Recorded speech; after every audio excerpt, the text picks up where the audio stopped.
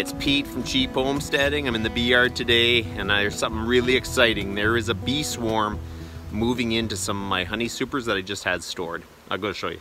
I did notice there was a ton of scouting going on and I didn't pay much attention. I'm making a bunch of splits and all of a sudden a swarm started moving in. Um, this is actually the first time I've ever seen it. It's kind of cool, so let's watch it. The scouts find the new hive location and then when they do decide on it, they all fly down here and they put their little butts up in the air there and so they fan their wings to uh, track the swarm to the new location and then eventually they'll make their way fully into the box.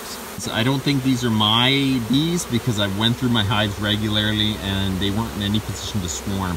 So I believe these are my neighbors. The law is once the bees leave your box, they're the person who catches them.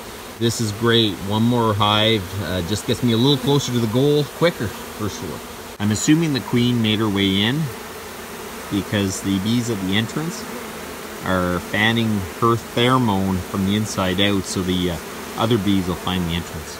The bees are starting to settle in quite nicely and I'm super, super pumped about it. I'm pretty happy. Uh, you know what?